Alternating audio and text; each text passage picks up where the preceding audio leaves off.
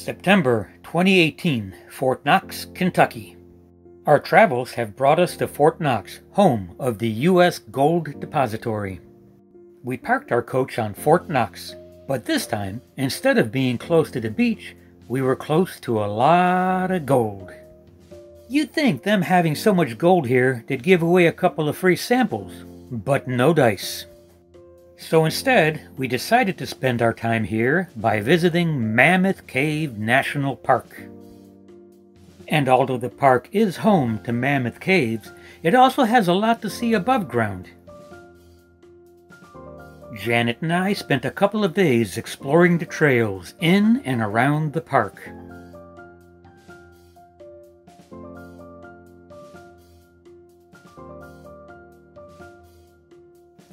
But eventually, we made it down into the cave. This was a huge underground passage, and although it didn't have all the formations we normally see in caves, you know, the stalactites, stalagmites, and such, it was still a really interesting exploration.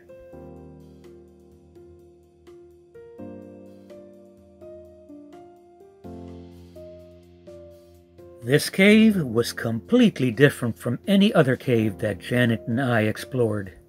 And we certainly did get a workout climbing into and back up and out of this cave.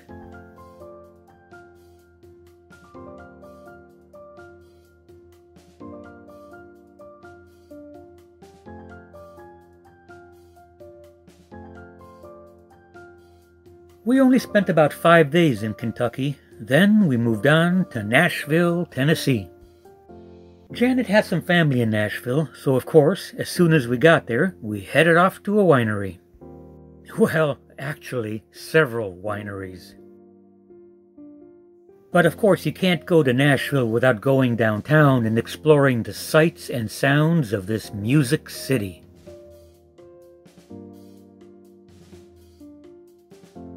The streets were busy with people. And it seemed as every door we passed had a different kind of music coming out of it. It seemed that every place we went into had a band performing live on stage, and more people around it than you could possibly count. But there was a lot more to see in Nashville, so we began to explore the city.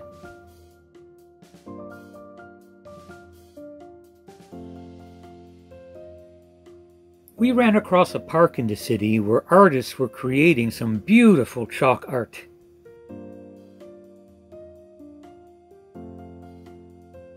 It's amazing what you can do with a box of chalk.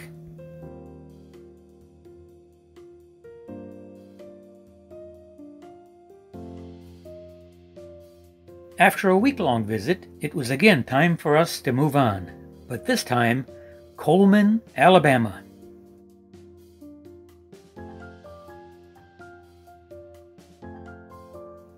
The trip to Alabama wasn't very long, and the point of it was to see an old friend of ours.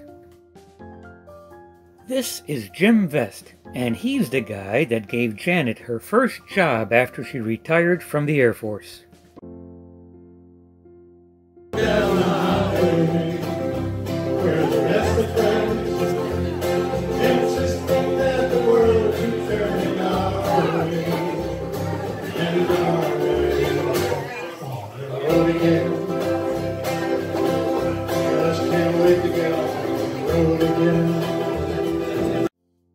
Jim is now retired and a musician at some of the local bars. It was great to see him again, and even better to see that he found a way to enjoy his retirement. But after a short visit, and a sense that it was getting cold out there, it was time to move on to Jacksonville, Florida. We stayed at an RV park on Naval Air Station, Jacksonville, and boy did I miss the beaches. The thing about Navy bases is they're usually on the coast, so you get to wake up to this outside your window every morning. We didn't stay long in Jacksonville. It was really only a stop along the way to our winter RV park. But hey, we were back in Florida. So now it's October, we're in northern Florida, we've got three more states on our list, and it's time to move further south before it gets much colder.